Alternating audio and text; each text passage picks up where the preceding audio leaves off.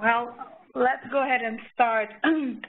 First, I'd like to thank um, um, Children's for um, giving a dedicated time for the uh, yearly World um, AIDS Day uh, Grand Rounds. It is a World AIDS Day today.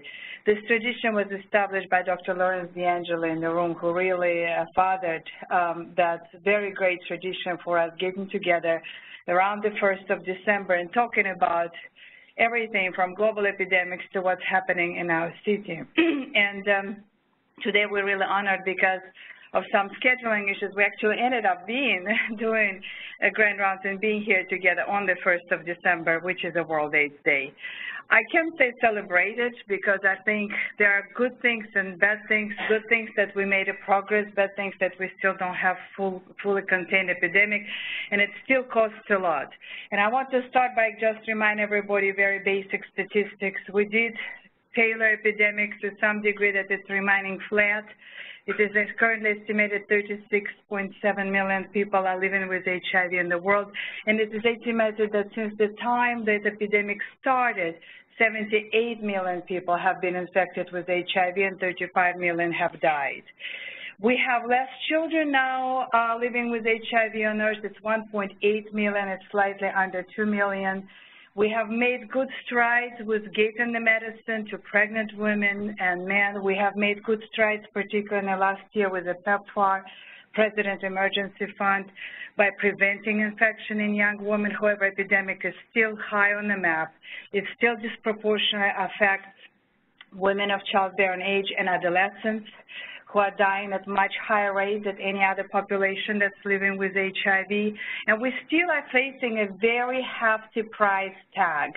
We have been able to cover 15 million people with treatment by 2015, but in order to double that number by 2020, we need to open our pockets for about $24 billion, and it's a huge task to do. So as we gather here today, we want to acknowledge, yes, we made good strides. Yes, we have much more efficient medicine. Yes, we have now one pill once a day option that is affordable. It costs only $75 a year per patient care, but we still are far from really controlling the epidemic.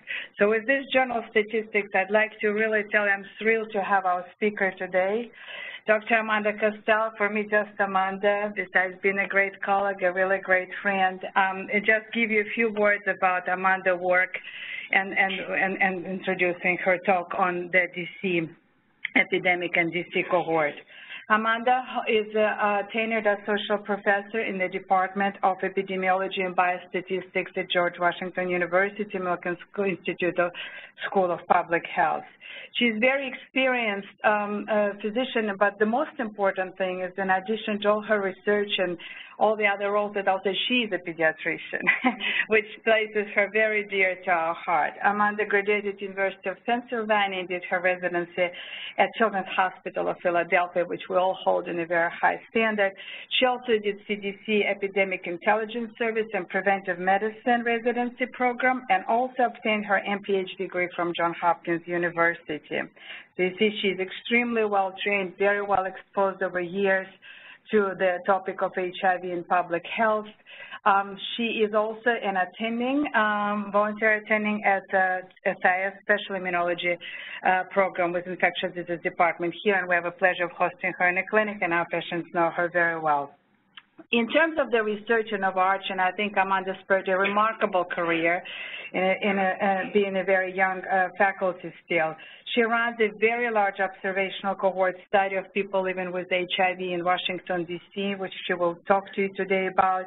She has run multiple public health surveillance data to monitor uh, progress along the HIV care cascade, along with the Department of Health in D.C. She's also very interested in how to retain people in care. She uh, and uh, our clinics, both mine and Dr. D'Angelo, has collaborated with her on technology, introducing technology and gaming into the uh, maintaining adherence and retaining care young people. And recently she started really very interesting exciting research looking at phylogenetic to describe transmission patterns within HIV. As you can see, her portfolio is very diverse, very interesting, very modern, and I'm very pleased also to say that she also, in addition of her roles with faculty, and university, co-chairs of the American Committee, um, uh, American Academy of Pediatrics Public Health Special Interest Group, and she also is a member of National Institutes of Health AIDS Research Advisory Committee, sitting with people like Anthony Fauci and really bringing a very important insight in how structure and fund HIV research in the United States. With that, I'd like to invite Amanda and her it is a great pleasure to have you here today with us. Thanks so much.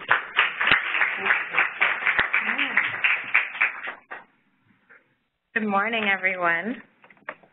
Good morning. it's a pleasure to be here, and thank you for that kind introduction.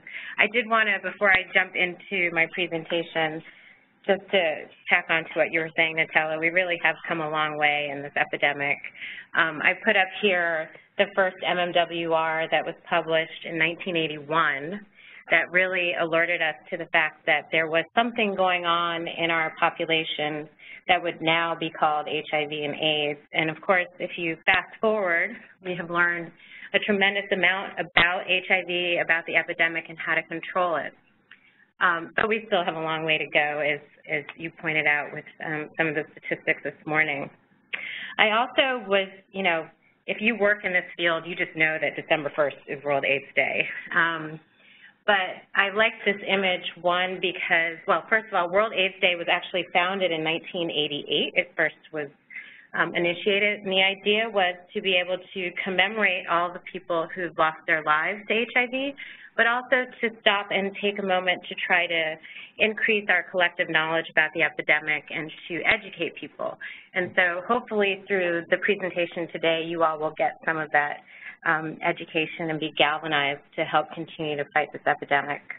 I also wanted to just give a couple of shout outs um, because this is my second home away from GW at the School of Public Health. So of course, Dr. Rakhmanina, Dr. D'Angelo, Kim, I know Keetra's not here, Connie, um, all of the research staff that help keep me grounded in my pediatric care as it relates to HIV and also in our collective fight towards the epidemic. So thank you all, um, and thank you for inviting me. So as Natella mentioned, um, the global epidemic is still pretty severe. There are over 36 million people living with HIV um, globally. And if you drill down to the United States, there are an estimated 1.1 million people living with HIV. Um, if you think about it, again, we are 36 plus years into the epidemic, but CDC still estimates that there are about 40,000 new infections just in the United States alone. So again, there's still a lot of work to do. If you look at the epidemic in DC, and you go back to 2007 when we really started um, honing in and trying to get a better sense of what was happening with HIV here, you can see the prevalence in 2007 was about 15,000 people estimated to be living with HIV just here in the District of Columbia. And if you look at the distribution by age, you can see that the highest prevalence was really among people who were 40 to 49 years old and 50 to 59 years old. So probably people who were um, infected and diagnosed back in the early 80s. If you fast forward to the most recent data that the health department has put out, you can see that the prevalence has gone down, um, and that's for a variety of reasons, um, but also that the overall prevalence has gone down tremendously. So in 2007, the prevalence was about 3%, and now we estimate it's about 1.9%. Um, I don't know if you all can see the black bar at the bottom there, but that 1% line is what UNAIDS considers to be a generalized epidemic. That's when they say HIV is really throughout the population. It's not affecting any particular subpopulations. So again, in 2007, we were three times that rate, and still in 2016, we're about two times that rate. So really everyone in the District of Columbia is at risk for HIV and really needs to know about how to prevent it and how to provide care and treatment for people who are infected.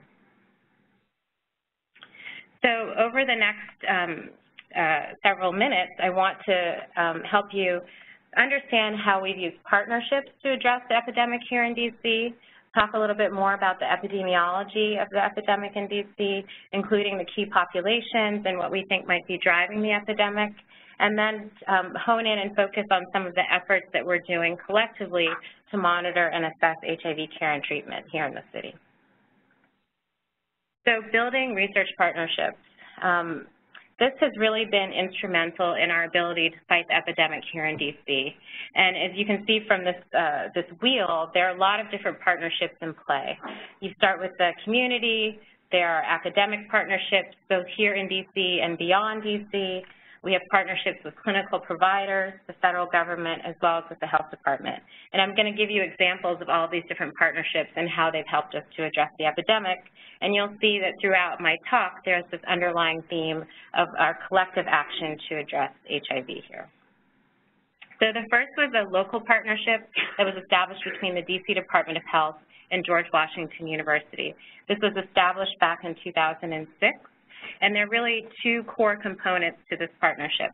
One is to provide um, what we call core HIV surveillance uh, support to the health department. And um, I was actually hired at GW to start doing this. I basically lived at the health department um, and helped them determine what was going on with the epidemic, looking at their surveillance data, et cetera.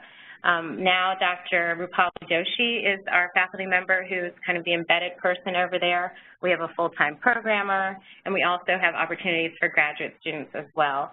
And our role really through GW has been to assist the health department in the day-to-day -day management, help them publish annual um, surveillance reports, and then help use some of the surveillance data not only to get a sense of the um, magnitude of the epidemic here, but also to get information out and use um, surveillance data in a scientific manner. The other core activity is National HIV Behavioral Surveillance. This is actually a CDC-funded um, surveillance system that focuses on three high-risk populations, men who have sex with men, injection drug users, and high-risk heterosexuals. And that's also run by two of my colleagues, Dr. Irene Kuo and Dr. Manya Magnus in conjunction with the health department. They have a full research staff and a team. You may have seen them. They have a van that they drive around um, where they go and they do testing at different venues and do surveys among these high-risk populations. Similarly, they help the health department get information out, and HBS really gives us a sense of what are the behaviors antecedent to HIV um, infection, um, what are the prevention behaviors that people are engaging in, and gives us a window into the epidemic that core surveillance doesn't necessarily give us. The second really key partnership has been a federal partnership between the health department and NIH. This is the Partnership for AIDS Progress, or what we call the PFAP for short. Um, uh, it was launched in 2008 by um, Dr. Fauci and then Mayor Fenty of DC. And this really came to light after the data were published in 2007 showing the severity of the epidemic here. There was a call to action to say, how could we be ignoring the epidemic? How could NIH be ignoring the epidemic in their own backyard and giving money to other cities and, and states and other countries without really looking in and addressing the epidemic in the nation's capital? So the goal has been to promote HIV research that would decrease HIV infections and improve care in Washington, D.C. And there are many initiatives that are supported through the PFAP that are led by Dr. Henry Masur primarily, and he's at NIH in the extramural division. So one of those initiatives through the PFAP has been to get uh, HIV prevention research funding. Um, GW has, uh, through the PFAP, uh, competed for an HPTN clinical research site, and um, I'm not going to go into detail here, but just to give you a sense of the different types of HPTN studies that are going on. Um, a second initiative under the PFAP was the testing and linkage to Care Plus study, which I know people here at Children's were involved in. Um, but you can see that the studies have been looking at the incidence of HIV among key populations and really looking at prevention interventions such as pre-exposure prophylaxis and how they might um, help us to curtail the epidemic. Um, another partnership that I'll talk more about in the, um, in the presentation is with clinical providers, and that's the DC cohort. Um, the DC cohort is helping us to define the epidemiology of HIV care and treatment here in DC. Um, the overall objective is to monitor and improve the quality of care delivery. Uh, it's a study where we merge electronic medical records from 15 clinical sites. We have about 8,500 people enrolled in the study, and every month we get electronic transfers of data into a central registry, and then every six months we link that data with health department data to improve the accuracy both of our cohort data as well as the surveillance data. So we've had many initiatives um, kind of underway, um, but um, I'll talk about more of these uh, later, but focusing on HIV indicators and providing data to clinicians, molecular epidemiology to look at transmission, and then you can see a variety of different um, uh, analyses that have been published. Again, I'll, I'll, go through these later in the talk. So here um, is just a quick snapshot of our enrollment. This is as of the end of August. Um, and you can see the different sites across the bottom. Um, we do have a wide variety of sites that participate in the cohort. These range from small community-based clinics to large community-based clinics like Unity and Whitman Walker, um, all of the major academic institutions, um, and our most recent site that we added is Kaiser Permanente. Um, as far as partnerships from an academic standpoint, um, the DC Center for AIDS Research was funded in 2010. Um, this is actually a citywide initiative to improve HIV, um, to bring HIV researchers to the DC area, obviously to address the epidemic. You can see here that it's a multi-institutional effort. Um, Children's is one of our partners in that. Um, the center is housed at GW, and it's one of 17 centers throughout the United States that do this type of work. And through the CFAR, we've also been able to expand our collaborations outside of DC. Um, we recently started what we call the Mid-Atlantic uh, CFAR Consortium, so we're working with our colleagues at Johns Hopkins as well as at University of Pennsylvania, understanding that the epidemic is not just contained here in DC, that people move up and down the mid-Atlantic region, and there may be some synergies um, between our epidemics. And so working collaboratively, we feel like we may actually um, make more progress and get further in addressing the epidemic. So these are just a couple of examples of how that MAC collaboration is going. And then finally, here's just an example of where those partnerships are, are really broad and now they are um, international. So um, Doug Nixon from GW was recently funded to um, lead a Martin Delaney uh, collaboratory, which is an NIH collaboration to cure HIV. Um, and he is working obviously with individuals throughout the United States, but also with colleagues in Mexico, in uh, Canada, as well as in Brazil. So an example of, of really the broad-reaching um, types of strategic partnerships that we're using to address the epidemic. And then last but not least, of course, is our community. They have been really instrumental in um, helping us understand the impact of the epidemic on particular subpopulations, how to um, design and implement our research studies. So we have multiple community advisory boards um, at, at, for different studies and at different institutions. Um, for the cohort, for example, they have provided uh, in-depth um, input into how we design the study, how we recruit people, and how we disseminate information as well. Given all of those different um, partnerships and collaborations, um, I want to show you a little bit about where we are now with the epidemic in DC. So these are data that come from the health department. This is from their most recent surveillance um, report, which is available online. But I just want to highlight a few things. So First of all, our prevalence um, is about 13,000, so the city took some time to actually look back and see how many people that were diagnosed in DC with HIV or AIDS are actually really living here. And hence you see the numbers have declined a little bit. And again, that's not surprising because we know that people move in and out of the metropolitan area.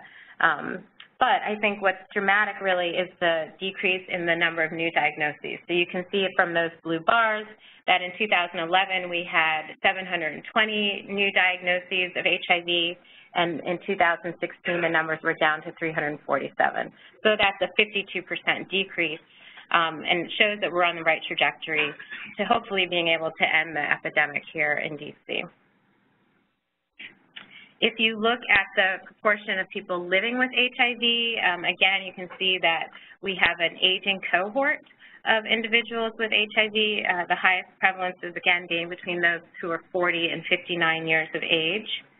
But then if you look at the new diagnoses by age group, you can see in that top blue bar that most new diagnoses are among people who are 30 to 39 and then 40 to 49. And of course, in our younger adult population, we still see um, several, you know, probably 30 to 40 cases in that um, the age group 24 and under um, every year. So a lot of work to be done still in trying to address these um, these new diagnoses. So what are the risk factors that are um, that we're seeing in terms of driving the epidemic? Well, we say that we have a mixed epidemic here in, in Washington. So here you can see that about 40% of new diagnoses are due to men who have sex with men um, or men who have sex with men and injection drug users. So uh, with black MSM accounting for 26% of those new diagnoses. And then we also see an epidemic where we have a lot of heterosexuals being um, uh, infected with another 25% of heterosexuals, black uh, female heterosexuals and black male uh, heterosexuals being infected. So that gives us a sense of some, uh, somewhat of the leading edge of the epidemic in DC. So given these improvements uh, in the epidemic, um, again, if you think back to 2007 to where we are now, the city has launched something called the Plan to End HIV. It's a 90-90-90-50 plan, and the idea is that by, 20, by 2020, 90% of residents will know their HIV status. 90% of those people who know their status will be in treatment. 90% of those on treatment will achieve viral suppression, so have a low viral load that's undetectable. And then um, the city also added a 50%. They want to try to get a 50% reduction in the number of new cases, um, uh, sorry, new diagnoses by 2020. And so this has really kind of galvanized the city. Again, this plan is available online. It's very comprehensive, but it's helping um, those of us who do research to really drive um, the research that we that we design and, and really help us to figure out where we can have the most impact. So with that in mind, because those, um, those indicators really are focusing on getting people diagnosed and getting them into care, retaining them in care, and getting them viral suppressed, we really are focusing on monitoring and assessing HIV care delivery. And, you know, how do we do that? Well, there are definitely lots of measures to be able to assess um, ending the epidemic and, and addressing care and treatment. Um, as you can see, UNAIDS set the 90-90-90 goals, which are basically those that the health department modeled um, their plan after, and many other cities and states are also designing these types of plans. The other way that we use to monitor the epidemic is something called the HIV care continuum. And so that is um, basically looking at people who are diagnosed and following them to um, the point where they are achieving viral suppression. And these are the most recent data from CDC, which show that 85% of people are estimated to be diagnosed with HIV. So again, if you think about it, we have 1.1, almost 1.2 million people living with HIV in the U.S but only 85% of those people actually know they're infected. 62% um, of them are getting care for their HIV, and then 48% are what we consider to be retained in care. So they're getting regular care with an HIV provider. But then if you look at that last pillar, only 49% are achieving viral suppression. And so this is why this is sometimes called the treatment cascade because we see this steep drop-off over time. So again, think of the 1.1 million people living with HIV in the United States, only half of them are actually achieving our ultimate goal of viral suppression. And so here's the care continuum for, uh, for Washington, D.C. You can see that we're doing a little bit better than the national picture. Um, we are very good with testing and linkage to care. So 98% of people have at least, once they've been diagnosed, touched a care system at least once in D.C. But then when you look at retention, it's a little bit more variable. Um, and then if you look at viral suppression, we're at 63%. So better than the national average, but still not great, um, considering that we want all of these bars to be at 100%. So those are kind of the two frameworks that we use, but there are also a lot of different national standards for monitoring HIV care delivery. So we have guidelines from the Department of Health and Human Services on how to care for people living with HIV who are adults and adolescents, as well as specific pediatric HIV infection guidelines. We have a national strategy um, that was launched in 2010, um, which actually was the first national strategy to address HIV in the United States. And then we have guidance from other institutions such as HRSA, who has um, their HRSA uh, HIV AIDS clinical care measures, as well as the National Institutes of Health, I'm sorry, the Institute of Medicine, which gives us guidance also on how to monitor HIV care in the United States. So we basically use all of this different information and guidance to try to assess where we are here in DC. So what is the health department doing to try to um, improve care delivery? These are just a couple of examples.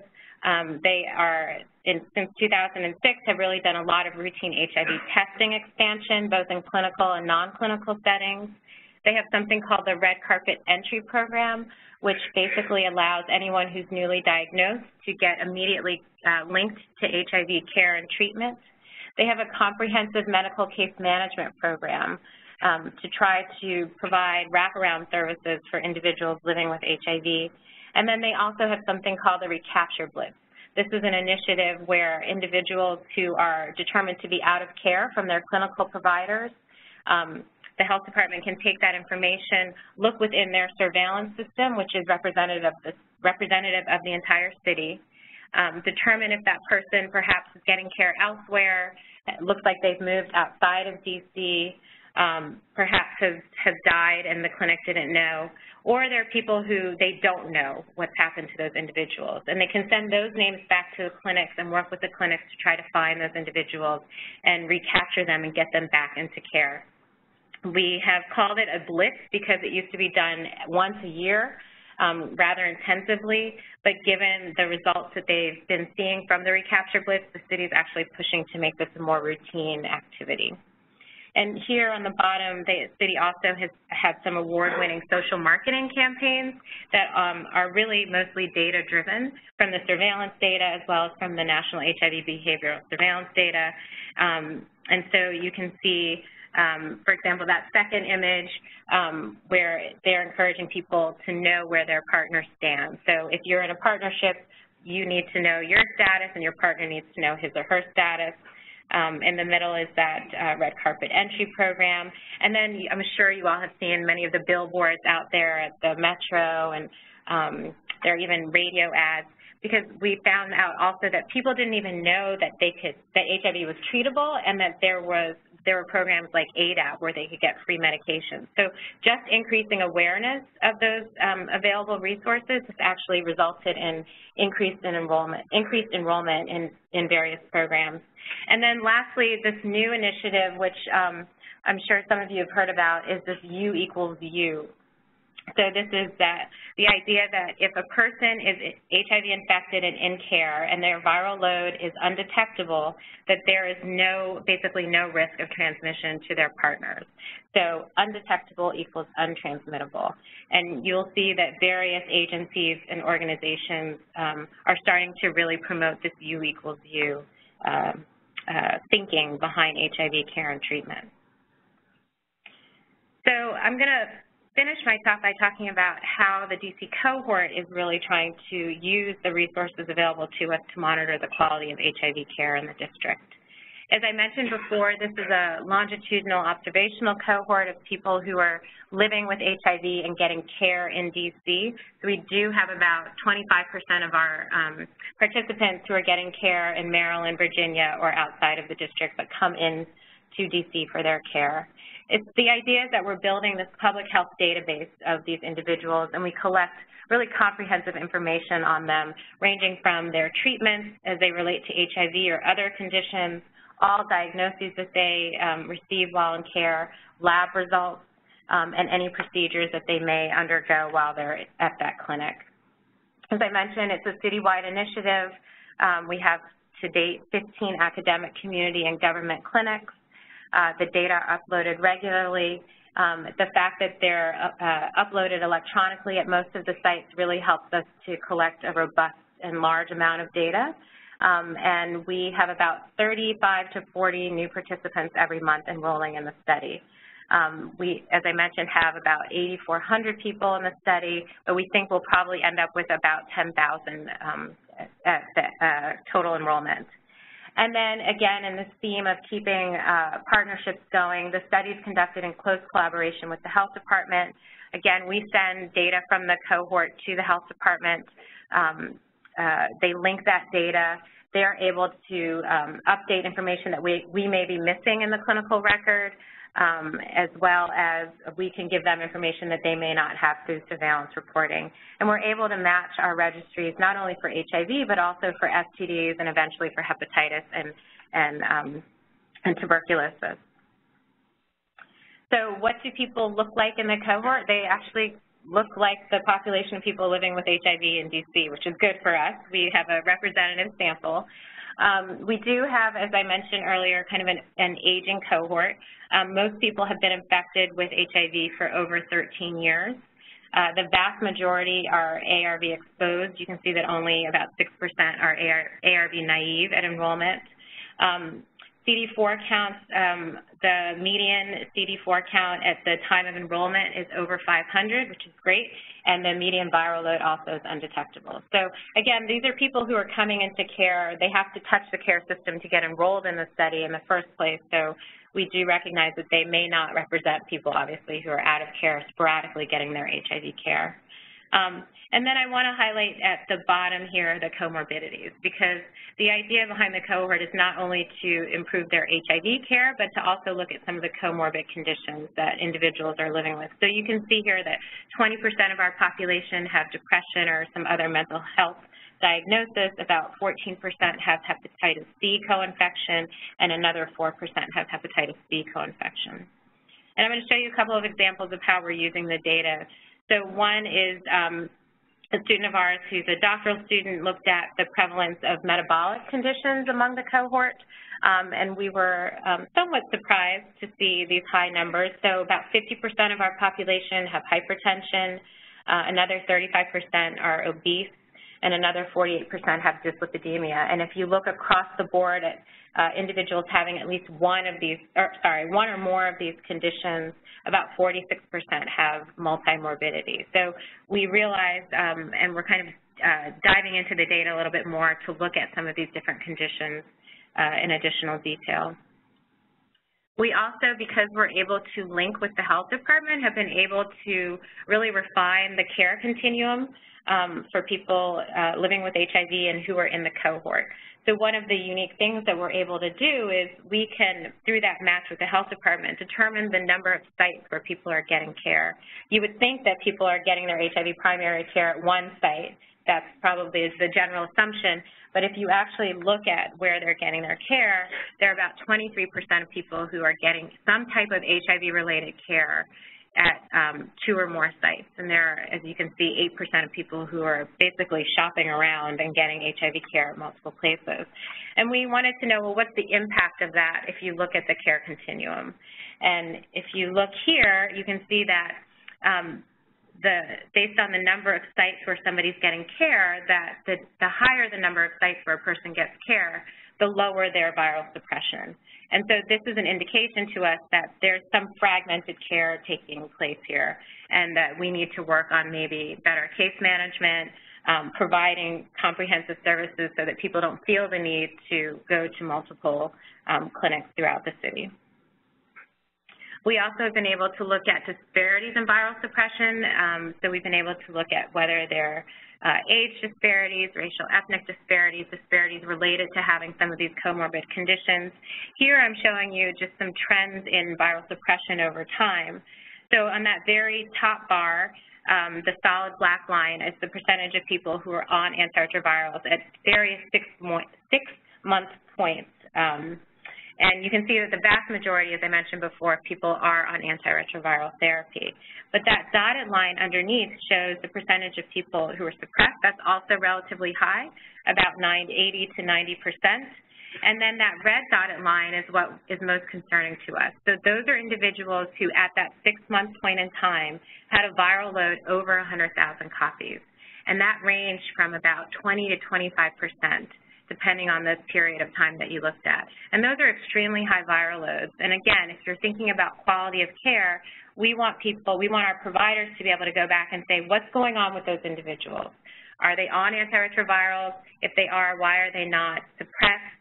And um, of course, those people are at risk for transmitting virus to other individuals as well. So it's an opportunity to um, really educate patients and talk about the importance of viral suppression also as a prevention, me uh, prevention measure. Um, again, just showing you examples, we collect pretty comprehensive information on the ARV regimens that patients take, and so we can look at the different classes of regimens, but also, importantly, we can look at resistance. So we collect all of the genotypes and phenotypes on patients as well as uh, molecular sequence data, and so we can monitor trends in drug resistance over time and look at things um, for the example, for example, perhaps there's the emergence of integrase resistance um, with the cohort, we're able to really track that on a local level. Um, I wanted to highlight a few other analyses that have taken place. One was led by Dr. Rakhmanina, um, looking at interruptions in antiretroviral therapy here at Children's. Um, and so the idea was to look at the impact on clinical outcomes. And I think probably not surprisingly, among the 28% of participants who uh, did have treatment interruption, the median CD4 count was lower for those individuals, the viral loads were higher, and again, giving us an indication that we really need to focus on different strategies to improve treatment continuity in this particular subpopulation living with HIV. Similarly, at the VA, they have a HIV nurse navigation program, and so they were able to look at individuals in the cohort who had been touched by that nurse navigation program and compare those to people who hadn't. Um, the people who received navigation were more likely to, or sorry, less likely to have permanent housing, more likely to be disabled, have detectable viral loads and comorbid conditions. Um, but they did see substantial improvements in the cohort that actually were um, getting services through the navigation program. And again, their CD4 counts went up, their viral loads went down um, after about one year. So evidence that integrating this navigation program into their clinical care uh, setting does work to improve um, uh, HIV outcomes among that population. And then um, finally, we're really using the cohort to look at the quality of care over time. So as I mentioned before, the Institute of Medicine and the Department of Health and Human Services have these standards that are used to monitor HIV care and the quality of care.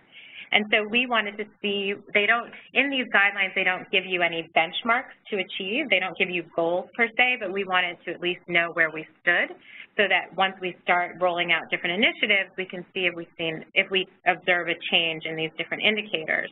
And so in the top half of this graph, you can see that the cohort sites actually do pretty well with respect to monitoring people for HIV, doing regular CD4 testing, regular viral load testing, um, but when you look at some of the other recommendations, like screening for STIs, that's where we see that um, collectively we're falling short. So only about half of people are getting the recommended screenings for syphilis, only about 25% or a quarter are getting screened for gonorrhea, and then about a third are getting screened for chlamydia. So again, this is important information that we can provide to our providers to say, don't forget that with the HIV care, we also need to address these other potential comorbid conditions. I'm also noticing housing thing. So it's housing instability. Um, so that, yes, and that's actually one of the indicators that's kind of flipped.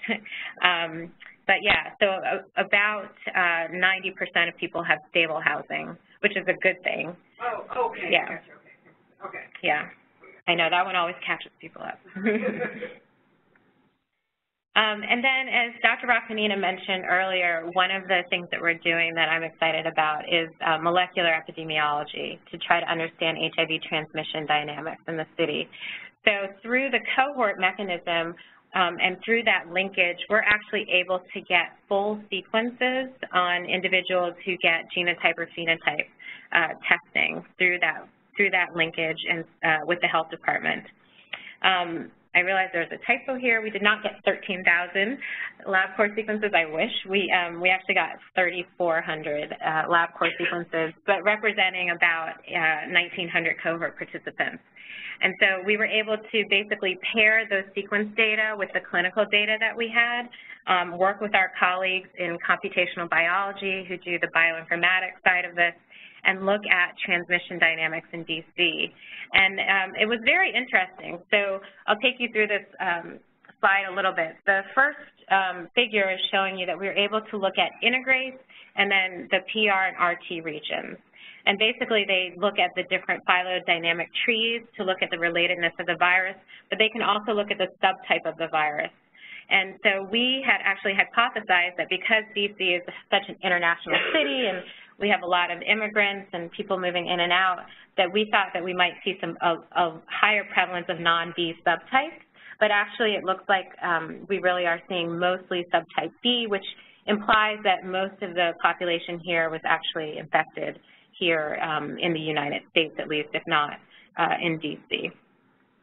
We're also able to look at clustering of the sequences, the idea being that if you can look at where there are clusters of HIV that are growing, that you can work with your health department providers to go out and actually interrupt transmission. This has been proven to have been done in places like British Columbia and Vancouver, and so we wanted to know if we could identify any clusters here in DC. So this is, again, just a different type of a cluster analysis in the middle. I just highlighted two of the clusters. One has about seven people in it. The other has about five. But the idea, again, is that we can provide this information back to the health department, and they can go out, identify those people through partner services. Obviously, if you figure out who the infected person is, make sure that that individual is in care and um, talk to their, their partners, test their partners for HIV as well as other STIs. And if they're positive, then obviously get them in care. But if they're negative, then we can offer them services like pre-exposure prophylaxis. So we're moving forward with that um, conceptually, and hopefully we'll be able to roll that out in the next couple of months. Um, and then lastly, we were able to actually look at where the clusters were when we overlaid them on different uh, areas in DC. And so we found that when you do this kind of geospatial mapping, that the highest rates of clustering are actually in the areas where there's the highest prevalence. So that's not surprising, but we wanted it to be consistent also. Um, so again, gives you information as to where kind of these hot spots are occurring throughout the city and among which populations as well. So I've given you a ton of information and data on how we are addressing the epidemic here in DC, and I want to go back to this question of how are we going to get the city to this goal of 90-90-90-50.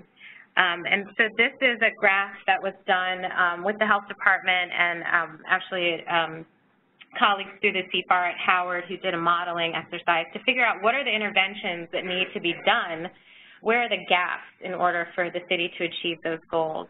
And the long and short of it is that we really need to focus on testing, engagement and care, and getting people virally suppressed, but we also need to focus on the other end of the continuum, which is the prevention side as well. So if we can do things like scale up biomedical prevention interventions like PrEP, we can also have a larger impact on preventing new diagnoses in DC. And so the city is um, expanding the delivery of both post-exposure prophylaxis and pre-exposure prophylaxis. Um, they have transitioned their STD clinic to be a health and wellness clinic, um, and so they're able to deliver PrEP through the clinic. They can give people starter packs and then link them to care so that they can get um, continued PrEP um, outside of the health department. And then, of course, from a research standpoint, we continue to do and engage in some of the HPTN uh, prevention trials.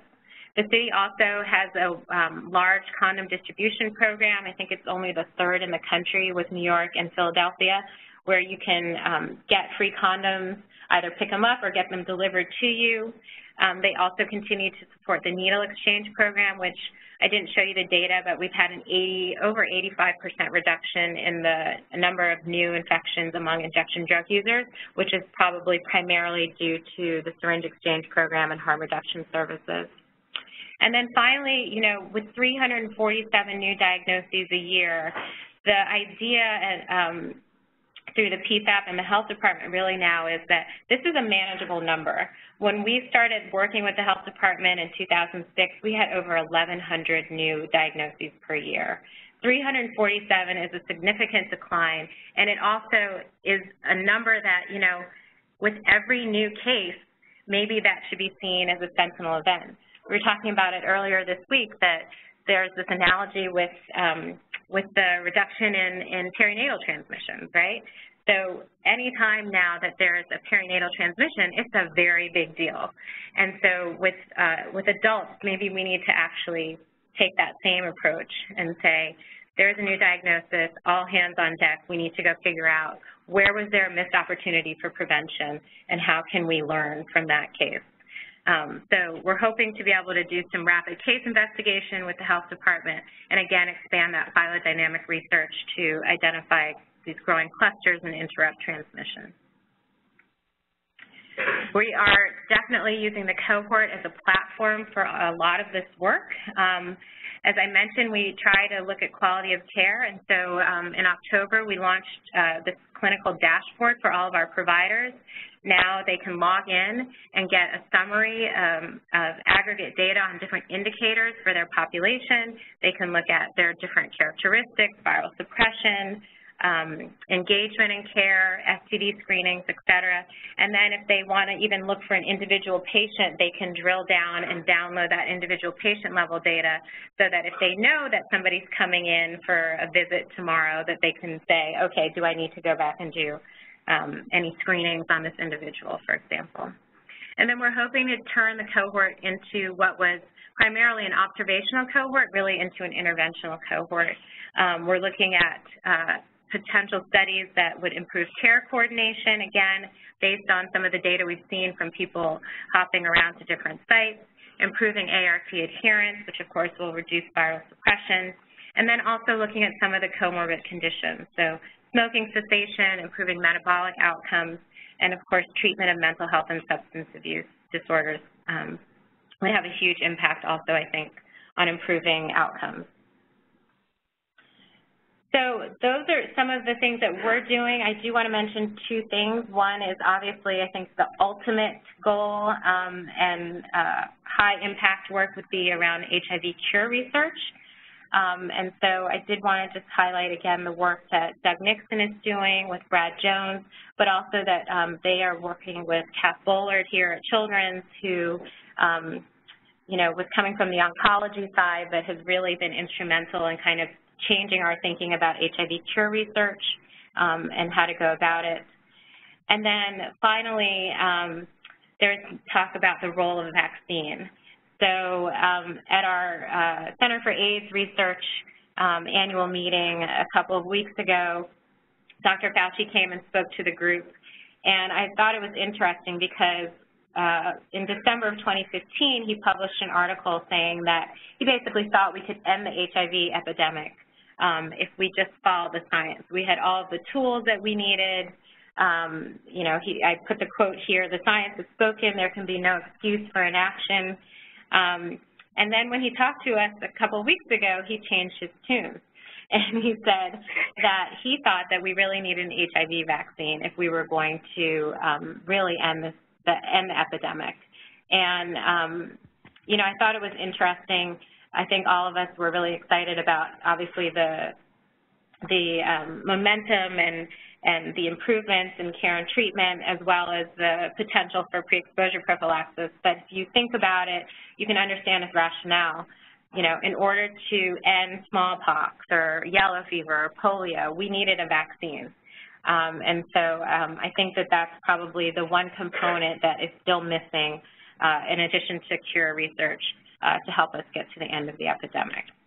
But in the meantime, um, I do think that we've made a lot of uh, strides here in DC. I think that the integration of our programmatic work with the health department and the research has really changed the landscape of the epidemic here. We've seen, again, this drastic decline in the number of new diagnoses, the growth of our HIV research portfolios, but I still want you all to go home and remember that we have about one new infection a day. And so how, what are we going to do to, um, to stop those infections? I think that the citywide partnerships have created a strong foundation that's going to support all of our activities in the future.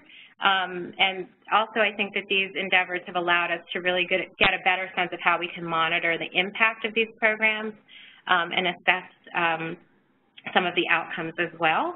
And then I think that we will be using um, different platforms such as the DC cohort to again develop interventions to improve outcomes along the continuum, to improve the quality of care that we are delivering to our HIV-infected populations, and ultimately to meet the city's 90-90-90-50 goal.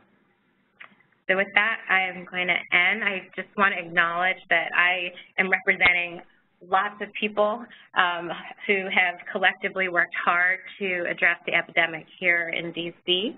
Um, and I just want to thank you all. I hope that, again, in the spirit of World AIDS Day, that you've at least learned one thing um, and that hopefully we can engage you in our fight to end the epidemic. So thank you. Well, on behalf of Children's, I want to thank you, Amanda. I think you've given us a very great overview of what's going on in D.C., and you also pointed out to the importance of collaborative effort to address this epidemic. I'm thrilled to be working with you. I know Dr. D'Angelo Clinic has been actively participating. I want to recognize some really prominent researchers in the room. I saw Maureen Lyon walking in with help multiple um, networking studies through the country. So just to highlight to everybody, Children's has been engaged in multiple projects, and this is one of the most honorable and interesting projects for us to run, working together with Amanda, but also individual grants throughout the country. We also are um, carrying the work done in DC International, and Many of you know that I do part-time work for Elizabeth Glaser Pediatric AIDS Foundation. And for example, the Red Carpet Program, we have built a similar program for adolescents in Kenya in the last year. And in today's Telegraph uh, newspaper of England, which is very widely uh, distributed uh, newspaper, I'm giving an interview about the success of this program. So oh, taking the model of the um, DC red carpet program, which really rolls carpet, taking it, tailoring it specifically to young people because uh, the incidence of HIV in young populations in Homa Bay County in Kenya is 25 percent. That's new cases, and overall infectivity is very high. And seeing the success of our DC model going internationally is thrilling. And Children's does a lot in this sense. You mentioned condom distribution. For those of you who have not seen Dr. D'Angelo Clinic distributes condom for many years for free. The two emergency departments, one at United Medical Center and the main campus, along with the overall screening for HIV and STI, is offering free condoms as well. And we're very grateful for children's leadership to support us in that. So really feeling and seeing how much has grown. I do want to recognize before passing the microphone for people questions and comments, the incredible role you played. I do think that Alan and you together, having come to the GW arena, have galvanized the effort. I think you should the NIH in the right direction, pointing them to the backyard, and I just want to recognize your leadership and Alan Greenberg leadership in this, and obviously with the support of NIH, but I think GW has made tremendous strides for this season, for the science. So thank you again for thank coming. You. My pleasure.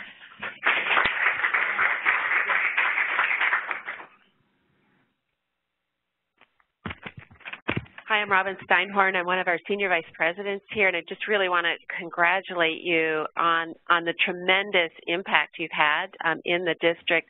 I'm a neonatologist by training, so um, so I really appreciated your comments about how it's a really big deal uh, if we identify a newborn with HIV, and that made me think, are we being bold enough with a goal of reducing our new cases by 50%, or, or, should we make that 92? And what would that take? Is it going to take a vaccine, or can we can we can we do even better uh, before a vaccine comes on the scene?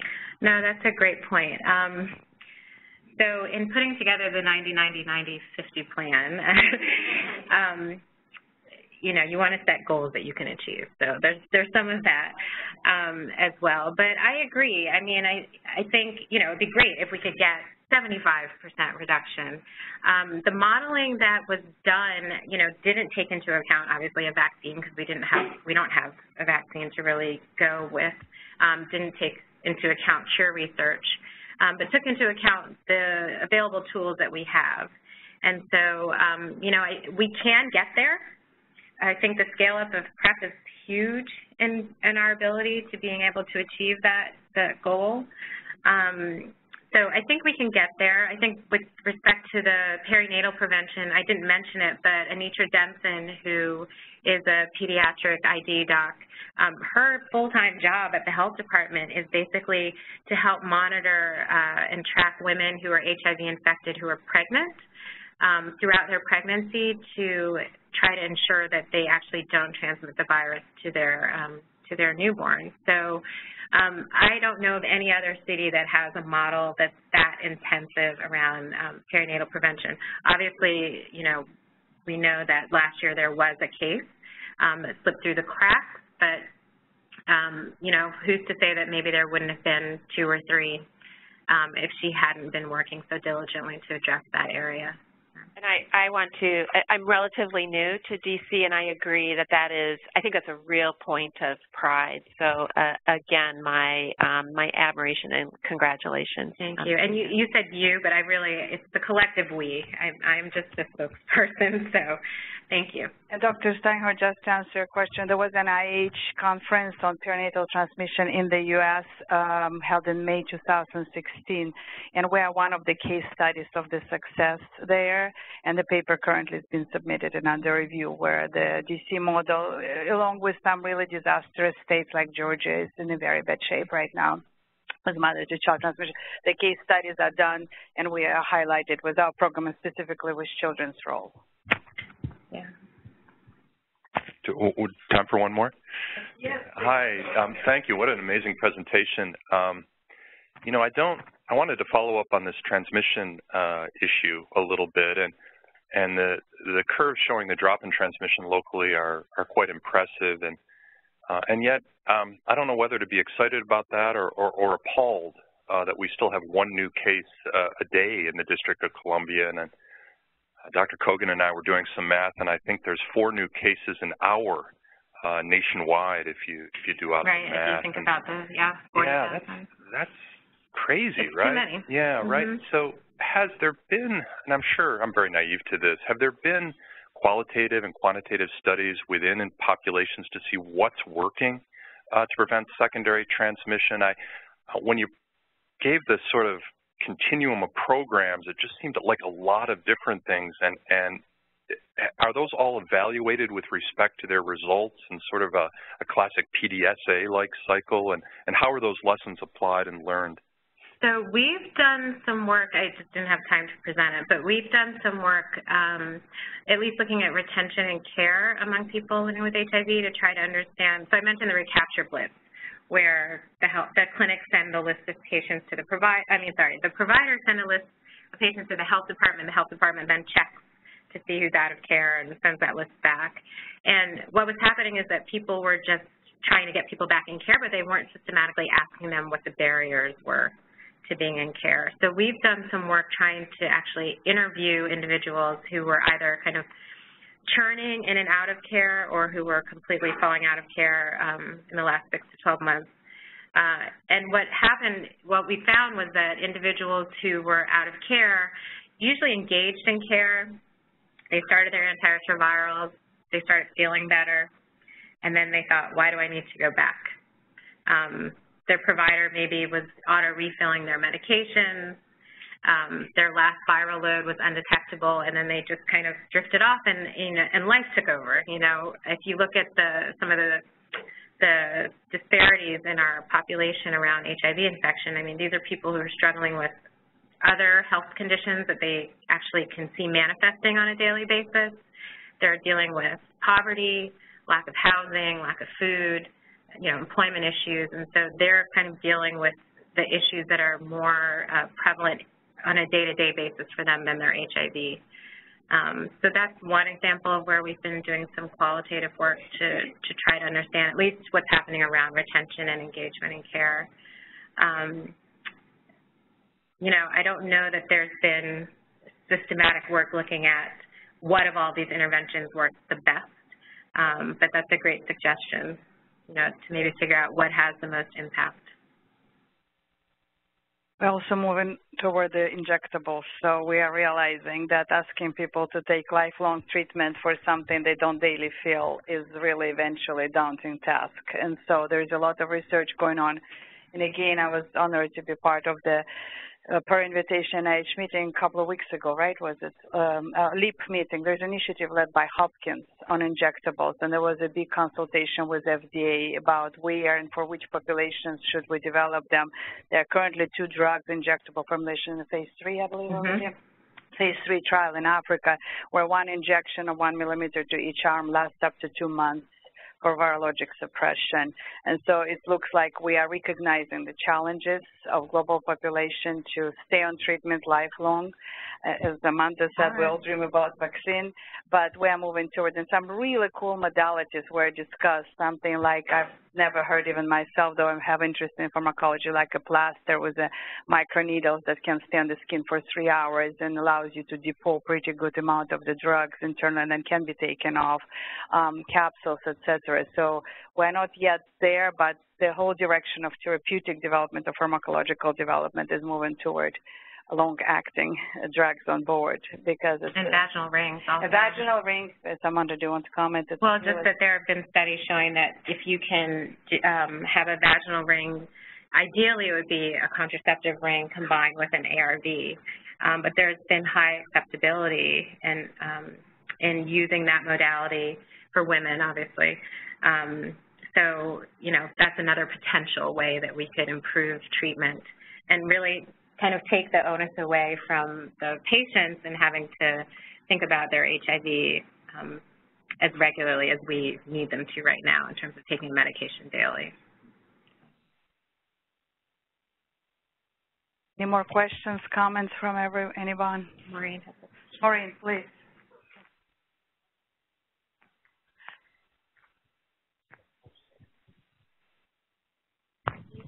Yeah. So my question, I was really surprised that people, uh, physicians aren't testing for STDs. And one of the controversies initially around PrEP was that what you would do is people would take their PrEP and then not use condoms to protect themselves from syphilis and other STDs. Do you have any data to show if there's been an increase in the prevalence of um, or incidence of uh, STDs in DC since PrEP has come into existence? So, so yes and no. Um, we so we don't have great numbers of PrEP use in DC. They're estimates that um, the health department just actually told me earlier this week that they think there are about 2,000 people on PrEP in DC, which is not a lot of people, uh, considering it's been around since 2012 or FDA approved since 2012. Um, so I can tell you that that that's the number of people that are estimated to be on PrEP, and then separate from that, I know that the syphilis rates are going up. But whether or not those are among people who are on PrEP, that I can't tell you. There is a study in England that was presented last year at CROI that showed significant rise in STDs in MSM community in London, um, Soho region, uh, with the use of PrEP. So there is concern. And so part of the debate around this increase in syphilis that we're seeing and STDs associated with PrEP is uh, so they also published a paper, I think almost 18 months ago, uh, for Kaiser in San Francisco, which found no seroconversions, but extremely high rates of STIs among MSM who are on PrEP. But the, the issue is that if you look, you will find, right? So normally, these individuals aren't getting screened every three months for an STI. So there's increased screening and therefore probably increased detection. And you have to tease out if it you know, behavioral risk disinhibition, or is it really that they um, are just being detected earlier? All right. Any more questions, comments from anyone? Well, I just want to remind everybody Amanda does come to Children's Clinic regularly, and there are great opportunities also in the DCCFAR and many initiatives that she leads for those young people who might be interested, and older people, but young and young to HIV uh, people who might be interested in going research. There are wonderful opportunities, if I may do a little pitch and pass to you, Amanda, for those who have not had a career in HIV research, there are really great opportunities through DCCFAR. Yeah, so if you are um, an investigator who wants to transition into HIV, and you don't have to necessarily be young, um, uh, there are pilot awards up to $50,000 to support that transition. Um, and then we also just launched affiliate memberships, so you don't necessarily have to be at a doctoral level or a, a faculty member um, for some of the um, junior investigators or people who are interested in HIV, you can become an affiliate member of the CFAR and use, you know, get all the newsletters and you're able to participate in all of the events as well. Thank you, Amanda. Again, and those of you who are around, we have been distributing red ribbons. Please, when you see your colleagues, to remind everybody it is a World AIDS Day, and we will do our best to try to stop celebrating it at one point, but there's still years ahead. Thank you, Regan.